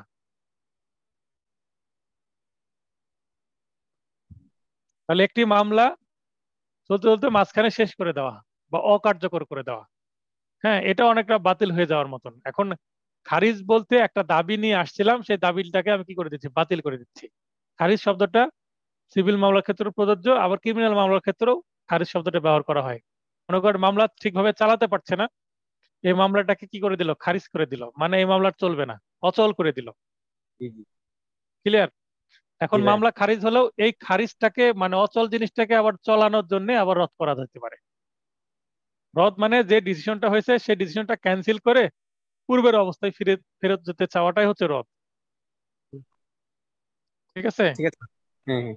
আচ্ছা এবার অব্যাহতি বা ডিসচার্জ চার্জের সময় এ নামে একটি ব্যক্তির বিরুদ্ধে তিনশো তেইশ এবং পাঁচশো ছয় ধারায় একটি চার্জ গঠন করা হচ্ছে। এখন এর পক্ষে আইনজীবী বলছে স্যার এর বিরুদ্ধে এই এই মামলায় চার্জ গঠনের কোনো কি নাই এলিমেন্ট নাই। মানে এই ধরনের কোনো অপরাধ সে করেইনি অতএব আমার আসামিকে কি দেন? মুক্তি দেন। পড়ে পড়ে দেখেন যে এই মামলার মধ্যে কিছু নাই। হ্যাঁ? যখন পড়ে দেখল যে আসলে কিছু নাই তখন আদালত কি করে দিতে পারে? একে ডিসচার্জ ডিসচার্জ যেটা ইংরেজিতে বাংলায় সেটা হচ্ছে অব্যাহতি। মানে মামলার দায় থেকে অব্যাহতি দেওয়া হলো। মানে মামলা সেদিন থেকে এই অব্যাহতি পেয়ে গেল। অব্যাহতির বিরুদ্ধে দেখাচ্ছে যে বাদী পক্ষ বা ফরিয়াদি পক্ষ বা প্রসিকিউশন পক্ষ স্টেপ নিতে পারে, প্রতিকার আছে। কিন্তু অব্যাহতি দিয়ে দিলে মামলায় তাকে বলাই হবে অব্যাহতি দেওয়া হলো। এটা খালাসও না, এটা মুক্তিও না, এটা বেকসুর খালাসও না। অব্যাহতি বা ডিসচার্জ আলাদাই জিনিস। এটা হচ্ছে সাক্ষ্য গ্রহণের আগে হয়। অব্যাহতি সাক্ষ্য গ্রহণের আগে চার্জের সময় হয়। ক্লিয়ার হলেন? জি ভাইয়া। অব্যাহতি চার্জ যখন গঠন করা হয়, যখন চার্জ গঠন করা হলো, ওই দিনই পিটিশন দিয়ে মুভ করতে হয়, অব্যাহতি চাইতে হয় স্ট্রং গ্রাউন্ড দেখাতে হয়। নিজে কোনো ডকুমেন্ট আসামি পক্ষ দিলে হবে না। মামলা আগে থেকে যেগুলো দেওয়া আছে, বাদী পক্ষ যেগুলো দিয়েছে, সেগুলোর উপর ভিত্তি করে পুলিশ রিপোর্টের উপর ভিত্তি করেই এগুলো দিতে হবে। মানে গ্রাউন্ড দিতে হবে। সেগুলো বিশ্লেষণ করে দেখবে যে আসলে মামলায় কিচ্ছু নাই মেরিট নাই মামলায়। তখন ডিসচার্জ চাওয়া যাবে, তখন ডিসচার্জ করতেও পারে। একাধিক আসামি থাকলে দু একজনকে ডিসচার্জ করল, বাকিদেরকে রাখল, এরকমও হতে পারে। এবার চলে যায় হচ্ছে খালাস। খালাস বলতে যখন বাদী মামলা চালাতে চালাতে বলছে, এই মামলা আমি চালাবো না, আপোষ হয়ে গেছে, মামলা আমি প্রত্যাহার করে নিব। যখন ফরিয়াদি পক্ষ যিনি মামলা করেছেন, উনি যখন মামলা প্রত্যাহার করে নিবে, তখন আসামি খালাস পাবে। মামলা যখন প্রত্যাহার করে নেবে, তখন আসামি খালাস পাবে। এই বেকসুর খালাস আর খালাস আলাদাভাবে অনেক সময় লেখা হয় না। কিন্তু মনে রাখবেন সাক্ষ্য গ্রহণের আগে যখন মামলা প্রত্যাহার করা হয় যখন মামলা প্রত্যাহার করা হয় প্রত্যাহার ইংলিশ হচ্ছে উইথ হেল্ড যখন মামলা উইথ হেল্ড বা প্রত্যাহার করা হয় তখন তাকে অ্যাকিউটাল বা খালাস দেওয়া হয়। এরাও সাক্ষ্য গ্রহণের আগেই। ঠিক আছে? আর যদি সাক্ষ্য গ্রহণ হওয়ার পর প্রমাণিত মানে সে যে অপরাধী সেটা প্রমাণ করা গেল না সেক্ষেত্রে তাকে বেকসুর খালাস দেওয়া হয়। বেকসুর বলতে সে অপরাধী নয়। তো সাক্ষ্য গ্রহণের আগে তো আর বলা যাচ্ছে না সে বেকসুর কিনা কারণ সাক্ষ্য হলোই না। সাক্ষ্য হওয়ার পরে যখন খালাস হবে তখন তাকে বেকসুর খালাস বলা যাবে। ক্লিয়ার হলেন? খালাস বেকসুর খালাস বিষয়টা? অনেক সময় খালাস আর বেকসুর খালাস আলাদাভাবে লিখে না তাও বুঝে নিতে হবে যে সাক্ষ্য গ্রহণের আগে খালাস হয়েছে মানে শুধু খালাস আর সাক্ষ্য গ্রহণের পরে খালাস হয়েছে মানে বেকসুর খালাস। জি জি। আর একটা বাকি থাকল। আমি জানতাম না এটা আজকে নতুন ভাবে জানলাম ভাই ধন্যবাদ হ্যাঁ আরেকটা জিনিস বাকি থাকল হচ্ছে মুক্তি। মুক্তি। মুক্তি মুক্তির ইংলিশ হচ্ছে রিলিজ রিলিজ মুক্তির ইংলিশ হচ্ছে রিলিজ এখন একটা মামলা আসামি দুই ভাবে রিলিজ পেতে পারে। আসামি যখন জামিন হবে, আসামিকে যখন জামিন দেওয়া হবে, মামলা চলমান আছে, আসামি জামিন পেল, বেল পেল। এখন যখন বেল, বেলে যখন পাচ্ছে তখন এখানে সে যদি হাজতে থাকে, তখন তাকে একটা রিলিজ অর্ডার দিতে হবে। হ্যাঁ কোর্ট থেকে একটা রিলিজ অর্ডার নিবে মানে তার মুক্তির আদেশ। তখন যখন জামিন পাবে, তখন তাকে মুক্তির জন্য একটা রিলিজ অর্ডার একটা ডকুমেন্ট থাকবে। এটা যখন হাজতে পাঠানো হবে এই রিলিজ অর্ডার বা মুক্তির আদেশের ভিত্তিতে তাকে কি দেওয়া হবে? মুক্তি দেওয়া হবে। তাহলে জামিন পেলে জামিনে মুক্তি হবে। আর একটা ক্ষেত্রে যখন মামলাটি স্টপ হচ্ছে স্টপ এটা মামলা খারিজও না কোনো কিছু না মানে স্টপ হয়ে থাকছে। হ্যাঁ? যখন মামলা স্টপ হবে বন্ধ হবে কার্যক্রম স্টপ বলতে কার্যক্রম বন্ধ ঘোষণা করবে। যখন কার্যক্রম বন্ধ ঘোষণা করবে তখন আসামিকে মুক্তি দেওয়া হবে। দুই ক্ষেত্রে মুক্তি হয়। জামিন জামিন পেলে মুক্তি হয় এবং কার্যক্রম স্টপ হলে আসামিদেরকে মুক্তি দেওয়া হয়। তাহলে জামিন পেলে আসামি খালাসও হয় না অব্যাহতিও হয় না মুক্তি হয়। কার্যক্রম স্টপ বা বন্ধ হলে আসামি খালাসও হয় না ডিসচার্জ হয় না আসামি মুক্ত হয় মুক্তি হয়। ক্লিয়ার বিষয়গুলো? থ্যাংক ইউ ভাই ক্লিয়ার ক্লিয়ার আর কোনো প্রশ্ন আছে? প্রশ্ন ছিল ভাই এটা আরেকটা ভাই করে ফেলছে। সেটা তো আপনি একটু এখানে বলে দিলেন যে সরাসরি রদ্রহিতের যে আবেদন আবেদন কখন করতে হবে বা সরাসরি রদ্রহিত কখন করতে হবে সেটা আপনি তো আমাদের প্রশ্নের মধ্যে একটা একবার বলে এগুলো নোটে সুন্দর ভাবে আছে একটু পড়লে বুঝতে পারবেন। কনফিউশন দূর করে নেন পড়ার মধ্যে থাকেন। কি ভাই আর প্রশ্ন আর প্রশ্ন আছে আপনার? করব আবার পরে ভাই। আচ্ছা ঠিক আছে প্রস্তুত হন। এবার আমি সুযোগ দিচ্ছি হচ্ছে গুলশান আফরোজ।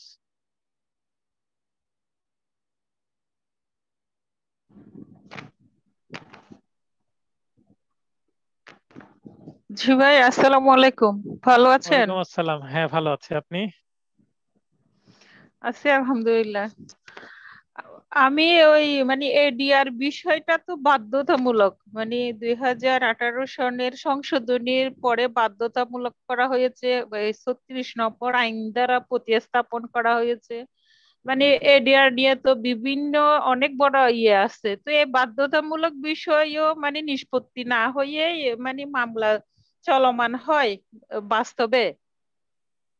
মানে কন্টিনিউ হয়ে মানে শেষ যখন রিটেন স্টেটমেন্ট দিল প্রতিপক্ষ তার মানে বাদী বিবাদী উভয় পক্ষ মামলা সম্পর্কে জানলো।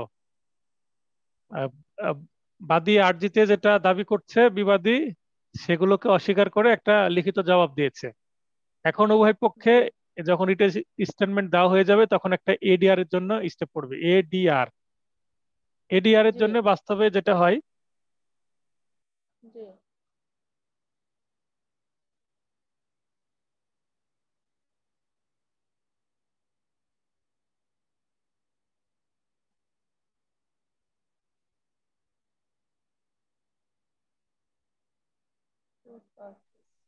এডিআর এর জন্য কোর্ট নিজে ইন্টারফেয়ার করতে পারে অথবা পার্টিসদেরকে বলতে পারে নিজেরা আপনারা আপোষ করে আসেন। হ্যাঁ? তো যখন পার্টিরা নিজেরা আপোষ হয় না কিংবা কোর্ট ইন্টারফেয়ার করেও আপোষ হয় না কোর্ট তার চাপ সৃষ্টি করতে পারবে না তখন এডিআর তার হয় না। এই মামলাটায় তখন চলে যায় হচ্ছে এসডির জন্য সেটলিং ডেট আচ্ছা কোর্ট চাপ সৃষ্টি করতে পারে না। বাধ্যতামূলক বিষয় যে তারপরও। এখানে এডিআরটা স্টেপটা রাখা হয় যখন উভয় পক্ষ রাজি থাকে তখন এডিআর হয়। এডিআরটা চাপিয়ে দেওয়া যায় না। আর বাস্তবে আচ্ছা। এডিআর হয়ই না খুব কমই হয়। খুব কম কম মামলার ক্ষেত্রে এডিআর হয়। এডিআর যদি হতো তাহলে তো মামলা সামনে আগাতোই না। এডিআর এসে শেষ হয়ে যেত। তাহলে তো এতদিন চলতোই না। হ্যাঁ তো বাধ্যতামূলকও করেছে। ওঠার জন্য কোথায় বাধ্যতামূলক করেছে বলেন? কোথায় বাধ্যতামূলক করেছে? কীভাবে করেছে? ওটা ওই যে মানে এখন এডিআর বাধ্যতামূলক দু হাজার এডিআর বাধ্যতামূলক? মানে এডিআর এর জন্য একটা ডেট রাখা বাধ্যতামূলক। আচ্ছা, এডিআর এর মানে জন্য একটা ডেট রাখা বাধ্যতামূলক। কিন্তু এডিআর করতেই হবে হ্যাঁ। এরকম বাধ্যবাধকতা নাই। এডিআর বাধ্যতামূলক মানে- বলতে এডিআর এর জন্য একটা দিন ধার্য বাধ্যতামূলক দ্যাটস অল আর ওই যে মেডিয়েটরের প্যানেল আছে মানে কে কে মেডিয়েটর হবে সবকিছুই। থাকার পরও হ্যাঁ। মানে শুধু ওই স্টেপটাই বাধ্যতামূলক মানে ওইটা করতে হবে এরকম বাধ্যবাধকতা মানে যে। উদ্দেশ্যে এডিআর তৈরি করা হয়েছে উদ্দেশ্য বাস্তবায়ন হয় না পেপার টাইগার বোঝেন এখন মানে বুঝতেছি হ্যাঁ আমি এত এতদিন বুঝি নাই পরে এর পরও বুঝি নাই আচ্ছা পেপার টাইগার মানে বোঝেন? এই শব্দের অর্থ কি? Paper tiger. হ্যাঁ পেপার টাইগার এই টার্মের সাথে পরিচিত আপনি? এটা একটা ইডিয়ম না না না মানে মাদার বোর্ডের মতো মনে হয় কোনো ওয়ার্ড হবে। যেমন আমরা না এখানে পেপার মানে কাগজ টাইগার মানে বাঘ। মানে কাগজের বাঘ, জি। মানে। যে আইনগুলো কাগজে আছে বাস্তবে ব্যবহার করা হয় না। বা খুব কম ভাবে ব্যবহৃত হয় সেগুলোকে বলা হয় পেপার টাইগার। এই এডিআরটা Paper অনেকটা পেপার। টাইগারের মতন যেটা বাস্তবে খুব একটা কাজে আসে না। ওই কাগজেই আছে। আচ্ছা ঠিক আছে থ্যাংক ইউ মানে অনেক চেষ্টার আজকে ইয়ে হলো আর কি আমার মাথায় ঢুকলো। না আপনার এই ধরনের কনফিউশন যেগুলো হ্যাঁ অবশ্যই। এই ধরনের কনফিউশন যদি থাকে অবশ্যই আমাকে জানাবেন হোয়াটসঅ্যাপে জানাবেন। ক্লাস যে শেষ হয়ে গেল তা শেষ হলো না আমি তো আছি।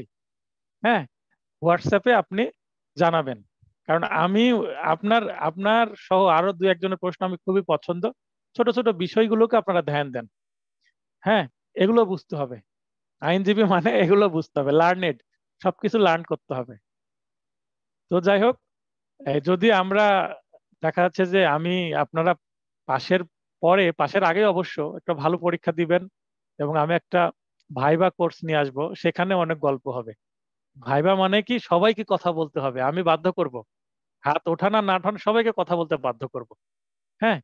এবং মুখে মুখে অনেক প্রশ্ন করব, মুখে মুখে উত্তর হবে। আপনারা মুখে প্রশ্ন করবেন, মুখে কনসেপ্ট হলে আমি বোর্ড ব্যবহার করব। অনেক সময় হয়তো আমি বসে থেকে ক্লাস নেব।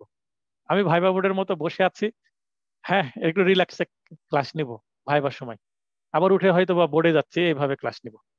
তো যাই হোক, আর প্রশ্ন থাকলে করেন।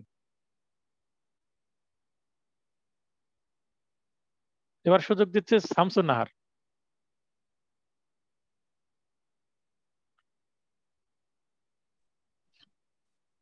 আসসালামু আলাইকুম। ভালো আছেন? ওয়ালাইকুম আসসালাম। হ্যাঁ ভালো আছেন আপনি? স্যার প্রশ্ন যা ছিল অনেকেই করছে অনেক ক্লিয়ার হয়েছে সবাইকে ধন্যবাদ। হ্যাঁ। আর আমার একটু যদি আপিল রিভিউ রিভিশন এ হ্যাঁ। সম্পর্কে একটু আলোচনা করলে একটু ভালো হইতো। পরে যতটা বুঝি তার চেয়ে আপনি বললে সেইটা মনে থাকে বেশি। সেটার জন্য তো ক্লাস নোট বই এরা তো কথা বলতে পারে না টিচার কথা বলতে পারে তাই তো? এখন একটু বোর্ডের হেল্প নেই। আমি আপনাকে জাস্ট একটু টাচ দিব ডিটেলে যাব না। কারণ আমার অ্যাপিল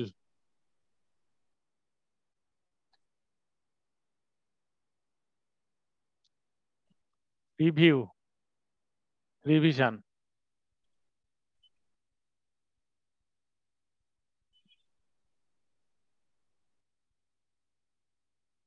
প্রথমে বলি রিভিউটা কি? মনে করেন যে যে কোর্ট যে কোর্ট আদেশ দিয়েছে ওই কোর্টই আবার দেখবে, আবার উল্টে পাল্টে দেখবে, কোনো ভুল হয়েছে কিনা। হ্যাঁ রিভিউ যে কোর্ট আদেশ দিল, মনে করেন যে জুডিশিয়াল সরি রিভিউ শুধুমাত্র সিভিল মামলার ক্ষেত্রে হয় রিভিউ ক্রিমিনাল মামলার ক্ষেত্রে হয় না। মনে করেন যে অ্যাসিস্ট্যান্ট জাজ ওয়ান একটা নাম দিলাম, এই ব্যক্তি, এই বিচারক একটা মামলার কি দিলেন? জাজমেন্ট দিলেন। একটা মামলার জাজমেন্ট দিলেন। এখন এই জাজমেন্টটা মনে করেন, এই পাশে আসে এ হচ্ছে বাদী আর বি হচ্ছে বিবাদী এখন এই বি এর পছন্দ হলো না, এর পক্ষে আসছে তাই। এখন এ একটা রিভিউয়ের প্রার্থনা করল এই কোর্টের কাছে যে, এটা আবার একটু দেখেন স্যার। এই অ্যাসিস্ট্যান্ট জাজ ওয়ানের কাছে আবার কি করল? প্রার্থনা করল। স্যার আরেকবার একটু দেখেন কোনো ভুল ভ্রান্তি হলো কিনা? এটা হচ্ছে রিভিউ মানে নিজেরটাই নিজে দেখেন। ঠিক আছে? এবার হচ্ছে অ্যাপিল এই জুডিশিয়াল সরি অ্যাডিশনাল জাজ ওয়ান ইনি একটা কি দিলেন? জাজমেন্ট দিলেন। জাজমেন্ট দিলেন এ বি এ হচ্ছে এখানে বাদী বি হচ্ছে বিবাদী। এখন মনে করেন যে এর পক্ষে রায় হলো। এখন বি আপিল করবে। বি আপিল করবে। এখন এ তো আর নিজের জিনিস নিজে আপিল শুনবে না। তখন এর বড় যে আছে তখন চলে যাবে মামলাটা দায়রা সরি ডিস্ট্রিক্ট জাজের কাছে যাবে। ডিস্ট্রিক্ট জাজ হ্যাঁ। এর বিরুদ্ধে আপিল চলে যাবে কার কাছে? ডিস্ট্রিক্ট জাজের কাছে চলে যাবে। এখন ডিস্ট্রিক্ট জাজ যখন আপিল শুনবে, তখন এই আপিলে এই যে বি যে কমপ্লেনগুলো করছে, কি করতে পারে? বলছে যে এটা এখানে আইনের ভুল হয়েছে কথা বলতে পারে এখানে ফ্যাক্ট ঠিকভাবে বুঝতে পারেনি নিম্ন আদালত। মানে নিম্ন আদালতের সকল ভ্রূণ ভ্রান্তি খালি ধরে দিতে হবে। এই বিচারক সঠিক বিচার করেনি, আমারটা দেখেনি, উনি নিরপেক্ষভাবে বিচার করেননি বাদী পক্ষ দ্বারা প্রভাবিত হয়েছে, নানান দুর্নাম করে। চলে যাব কি? ছোট ভাই কোনো সমাধান দিল না, চলে যাব বড় ভাইয়ের কাছে। এই সমস্যাটা নিয়ে। এখন বড় ভাই দেখবে ছোট ভাই কোনো ভুল করেছিল কিনা, যদি করে থাকে সেটা সংশোধন করে দিবে। আর যদি উনিও বুঝতে না পারেন যে আসলে এখানে ভুল কোথায়, তার মানে সাক্ষী প্রমাণ আবার নেওয়া প্রয়োজন। তখন কি করবেন? আবার এই মামলাটা উনি এই মামলাটায় নিজে সাক্ষ্য গ্রহণ করতে পারেন অথবা আবার নিচের আদালতকে দিয়ে ছোট ভাইকে আবার পাঠাবে, অর্থাৎ নিম্ন আদালতে বলবে যে আপনি আবার কি করেন? সাক্ষ্য গ্রহণ করেন বলে একটা নির্দেশনা দিয়ে পাঠাই দিল নিচে। নিচে তখন আবার কি হবে? আপিল উপরে হলো কিন্তু নিচে আবার সাক্ষ্য গ্রহণ হতে পারে। আবার উনি নিজেও সাক্ষ্য গ্রহণ করতে পারেন। বিচার্য বিষয়ে ভুল থাকতে পারে।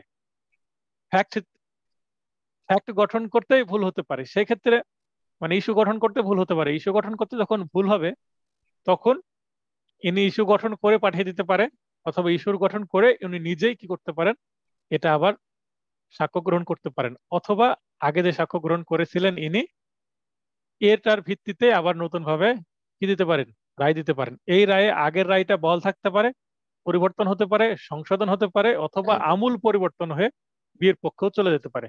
মানে আপিলটা সাকসেস হলো বিয়ের পক্ষে। অ্যাপিল বুঝলেন? এবার চলে যায় রিভিশন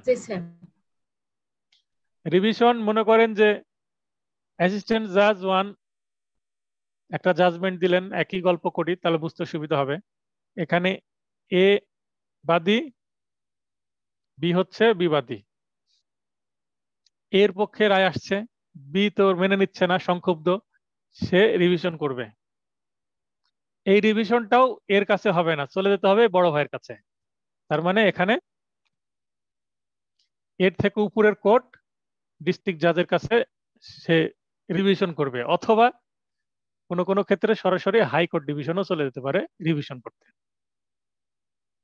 হ্যাঁ এই revision one revision two district জাজের কাছে রিভিশন করে যদি মন মতো রেজাল্ট না পেল বি সে আবার চলে যেতে পারে হাইকোর্ট। সেকেন্ড রিভিশন আছে। হ্যাঁ সেকেন্ড রিভিশনের জন্য ডিস্ট্রিক্ট জাজের সিদ্ধান্তের বিরুদ্ধে চলে যেতে পারে হাইকোর্টে। সেকেন্ড রিভিশন আবার যদি মনে করেন যে ফার্স্ট রিভিশন করল বি বি এর পক্ষে চলে গেল, তখন এ আবার খেপে গেল। এর পছন্দ হলো না ডিস্ট্রিক্ট জাজের ডিসিশন তখন এ আবার হাইকোর্টে চলে গেল সেকেন্ড রিভিশন করার জন্য। তো রিভিশনে আর অ্যাপিলের মধ্যে পার্থক্য কি? অ্যাপিলে আবার কি করা যায়? বিচার্য বিষয় গঠন করে সাক্ষ্য গ্রহণ করা যায়, কিন্তু রিভিশনে আবার সাক্ষ্য গ্রহণের কোনো সুযোগ নাই। এতটুকুই পার্থক্য আপিল এবং রিভিশনের ক্ষেত্রে। রিভিশন উপর আদালতে যেতে হয় আপিলেও উপলা আদালতে যেতে হয়। আপিলে অনেক কিছু করার থাকে। হ্যাঁ কিন্তু রিভিশন অনেক কিছু করার থাকে না, কারণ আবার সাক্ষ্য গ্রহণ করার সুযোগ নেই। জাস্ট আগের সাক্ষ্যের উপর ভিত্তি করে কি করতে পারে? রায়টাকে সংশোধন, পরিবর্তন, পরিবর্ধন এই ধরনের কাজগুলো করতে পারে। আশা করি ক্লিয়ার হয়েছেন প্রয়োজনে একটু স্ক্রিনশট দিয়ে রাখতে পারেন।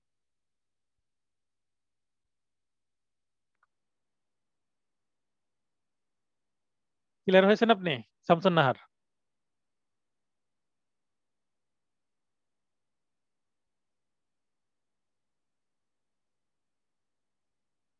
শামসুন নাহার, আপনি ক্লিয়ার হয়েছেন? দরকার হলে স্ক্রিনশট দিয়ে রাখেন। স্যার ডিস্টার্ব করছিল এই জন্য একটু রিভিশনটা আর একটু যদি বলতেন। আপিলে কি বললাম? যে নিম্ন আদালত রায় দিল, সেটা বি মানলো না বা এ মানলো না, আপিল করল বড় আদালতে। বড় আদালত দেখবে যে এই জাজমেন্টে কোনো ভুল ভ্রান্তি আছে কিনা, সেটা সংশোধন করে দিতে পারে। সাক্ষ্য প্রমাণ এবং নথিতে যে ডকুমেন্টগুলো আছে, তার ভিত্তিতে। আবার কি করতে পারে? যদি দেখে যে ইস্যু গঠন বা ওই বিচার্য বিষয় গঠন সঠিক হয়নি সেটা গঠন করে আবার নিম্ন আদালতে পাঠিয়ে দিতে পারে নতুন ভাবে সাক্ষ্য গ্রহণ করার জন্য।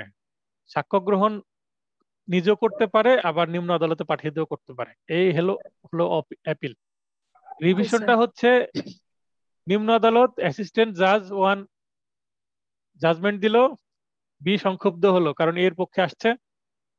সে রিভিশন করল ডিস্ট্রিক্ট জাজে ডিস্ট্রিক্ট জাজে রিভিশন করল করে বি এর পক্ষে আসলো অথবা এর পক্ষে যে কোনো পক্ষে গেল। তো ডিস্ট্রিক্ট জাজের যে সিদ্ধান্ত সেই সিদ্ধান্ত যার পক্ষে যাবে অপর পক্ষর আবার সুযোগ আছে এটা আবার হাইকোর্টে চলে যাওয়ার সেকেন্ড রিভিশন কারণ সিভিল মামলায় সেকেন্ড রিভিশনের অপশন আছে। জি স্যার আশা করি বুঝতে পেরেছেন। জি স্যার। হ্যাঁ স্যার বুঝতে পারছি। তাহলে রিভিউটা হচ্ছে নিজের নিজের ভুল নিজে সংশোধন করার একটা প্রক্রিয়া। আর রিভিশন আর রিভিউ নিজেরটা নিজে করতে পারবে না বড় কাউকে লাগবে।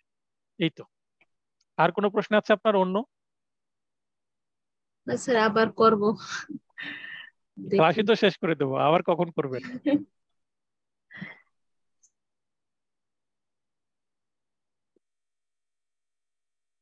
এবার সুযোগ দেব হচ্ছে সুশান্ত কুমার।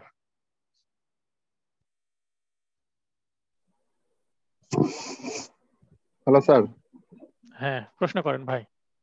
স্যার ওই যে আমার স্যার আট ও বিয়াল্লিশ যে পেজ নাম্বার হচ্ছে স্যার ছত্রিশ প্রশ্ন হচ্ছে স্যার দুইয়ের সাত। ক খ এর সত্য অস্বীকার পূর্বক খ কে এক খোটো জমি থেকে বেদখল করেন। আমার নোটের? জি স্যার কত পেজ পেজ নাম্বার ছত্রিশ। হুম। বলেন। ওই দুইয়ের সাত স্যার। ক খ এর সত্য অস্বীকার পূর্বক খ কে এক খণ্ড জমি থেকে বেদখল করে স্যার। এই যে বেদখলের কথাটা উল্লেখ আছে স্যার। আছে। তারপরে খ সংবুদ্ধ হয়ে উক্ত সম্পত্তি তার সত্য আছে মর্মে ঘোষণা পাওয়ার জন্য মামলা করেন করে। মামলাটা কি স্যার শুধু ঘোষণার জন্য করে? এখন? মনে করেন এখানে আছে ক। হ্যাঁ এখানে আছে খ। ক এর সম্পত্তি ছিল এই খ এই ক এর সম্পত্তিটা কি দখল করে নিয়েছে? মানে এখানে ক এর দখলে আর নাই। ওকে এখন ক বলছে আমি তো মালিক। হ্যাঁ? মালিক ছিল প্লাস দখলেও ছিল ক ছিল। এখন এই দখলটা এই কয়ের কাছ থেকে চলে গেছে এবার কার কাছে? খয়ের কাছে তাই তো? মালিক কাগজে আছে কিন্তু সম্পত্তি এখন ভোগ করছে খ। এই তো মামলার ফ্যাক্ট এখন ক মামলা করছে শুধুমাত্র কি ধারায় বিয়াল্লিশ ধারায়। হ্যাঁ স্যার। স্যার এখানে এটা হচ্ছে ফ্যাক্ট বলেন এবার। আর ধারা আসলো না কেন স্যার এখানে? আর ধারা তো স্যার ওই সত্য ছিল। ও আগে বেদখল হয়ে হয়েছে তারপর? না কি স্যার বুঝলাম না। এখানে প্রশ্ন করছে সংশ্লিষ্ট ধারা উদ্ধৃতি দিয়ে উক্ত মামলার আইনগত পরিণত কি? কি চাচ্ছে মামলায়? পরিণতি কি চাচ্ছে? পরিণতি। পরিণতি। মানে মামলার রায় কি হবে? এই মামলার এই প্রশ্নের উত্তর হবে ক এর পক্ষে বিক্রি প্রদান করবেন না এই যে না খুবই গুরুত্বপূর্ণ। হ্যাঁ। এটার এই প্রশ্নের উত্তর হচ্ছে ক এর পক্ষে বিজ্ঞ আদালত ডিগ্রি প্রদান করবেন না। কারণ ক এই বিয়াল্লিশের সাথে আট ধারায় মামলা করেনি তাই। কারণ এই বিয়াল্লিশটা হচ্ছে মূল ধারা এই মামলার ক্ষেত্রে আর এই আট ধারাটা হচ্ছে এই কি প্রতিকার বলে? সত্য। আনুষঙ্গিক আনুষঙ্গিক প্রতিকার হ্যাঁ। আনুষঙ্গিক। আমি ক্লিয়ার করে লিখে দিচ্ছি। এই জায়গাটা ক্লিয়ার হন। এই প্রশ্নটাই কিন্তু গোলক ধাঁধা আছে। জি স্যার এই এই আট বিয়াল্লিশ নয় বিয়াল্লিশ আর আট। এই বিয়াল্লিশ এখানে ঘোষণা চাচ্ছে। তার মানে এটা হচ্ছে মূল ধারা মামলার মূল ধারা। হ্যাঁ। আর এর সাথে টেনে আনতে হবে আট ধারা। এটা কি করার জন্য? আনুষঙ্গিক প্রতিকারের জন্য। আনুষঙ্গিক প্রতিকার সাপ্লিমেন্টারি রেমিডি ওকে আসলে ইংলিশ মিডিয়ামে পড়েছি তো বাংলা বানানেরও অবস্থা আমারও খারাপ। আপনাদের জন্য একটা ভিডিও আসবে হচ্ছে আইনে আইনে বাংলা বানান মানে বিভ্রান্তি বা বিড়ম্বনা। এই ধরনের একটা ভিডিও আসবে দু একদিনের মধ্যে। হ্যাঁ?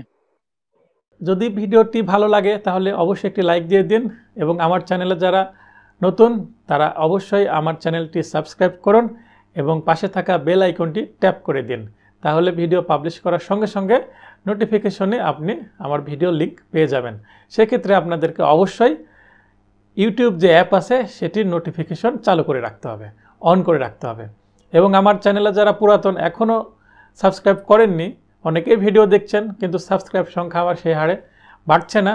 আপনাদেরকে অনুরোধ করব, প্লিজ প্লিজ আমার চ্যানেলে সাবস্ক্রাইব করুন এবং ভিডিওটি ভালো লাগলে অবশ্যই লাইক দিবেন, শেয়ার করবেন, বন্ধুদের দেখার সুযোগ করে দিবেন, কমেন্ট করবেন আপনাদের সমস্যাগুলো।